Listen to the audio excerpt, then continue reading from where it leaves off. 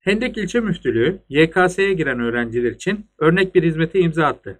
İlçe genelinde 13 sınav merkezinde YKS sınavına giren öğrenciler için stand açan görevliler, sınav süresince öğrencilerin emanetlerini ücretsiz olarak kabul etti. Ayrıca standta öğrenci ve velilerine de çeşitli ikramlarda bulundu. Çocuklarını sınava getiren veliler, yapılan hizmetten duydukları memnuniyeti dile getirerek teşekkürlerini ilettiler.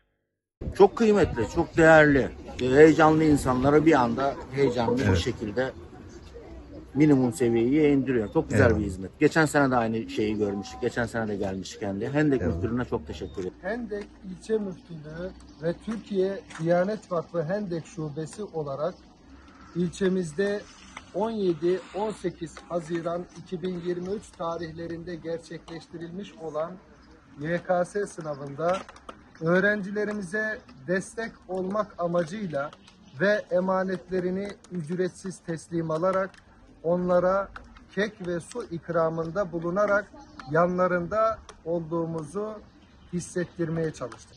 Şimdi böyle bir uygulamayı ben de ilk defa gördüğüm için e, biraz da tuhafıma gitti yani.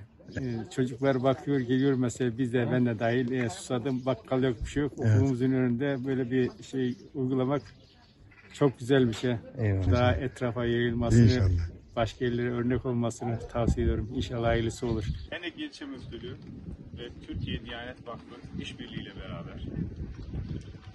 Bugün